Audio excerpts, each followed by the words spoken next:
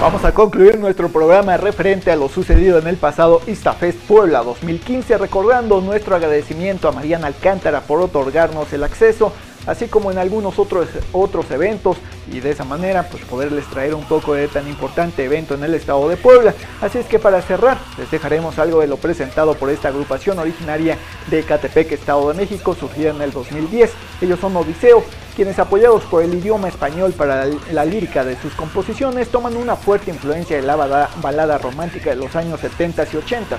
combinándolo con el sonido del rock británico de los mismos años para así crear una esencia propia que sin duda alguna se respira en su música. Nos vamos pues de esta manera dejándoles un poco de lo sucedido con Odiseo, pero recuerden estamos aquí el próximo viernes a las 5 de la tarde con más de lo referente a los festivales y eventos que se realicen en nuestro país. Además, no olviden seguirnos por ahí en Facebook y YouTube como Garco Producciones o si lo prefieren a través de nuestro Twitter personal que es arroba Omar García 1. Y es que pues de esta manera pues nosotros les vamos a dejar